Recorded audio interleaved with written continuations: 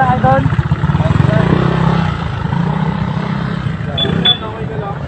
Overshoot sa tayo. Palagi